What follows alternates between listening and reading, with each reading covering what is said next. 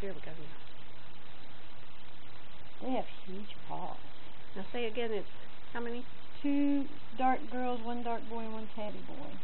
That one almost looks like it's not going to be black, the one on the very back, Mm-hmm. because it's lighter colored than the other two. One that's stretching around. Mm-hmm. It has lots of white hair. Look at that Hi, yawn. Look at that beautiful yawn. They are mommy's working hard to make us big healthy babies. Yeah, you are big healthy baby. We were born on Tuesday night, Wednesday morning, April 6th or 7th. Take your pick. What's the seventh? It's my anniversary. Oh, okay. That'll. Lucky number 7. hmm Mm-hmm. They're good. We got the shelter, don't we? Oh, yes.